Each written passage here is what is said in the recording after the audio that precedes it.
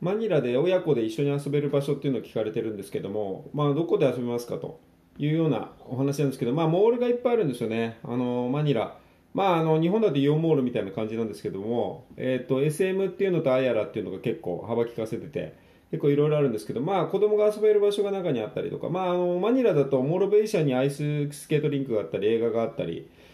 まあ、あの食べる場所とかですねあの結構子供が多いっていうか、まあ、平均年齢23歳で若い国なので、えっと、子供の遊び場所はいっぱいあるかなと思います。永住ビザなんですけど、まあ、親子で移住する場合はですねリタイアメントビザ、えっと代表の1人、まあ、ご主人がとかですね取られて家族分リタイアメントビザであの住めたりするので結構楽かなと思います。すぐに適用できると思います。住みやすい国です。で、まあ、楽天ポイントですよね。あの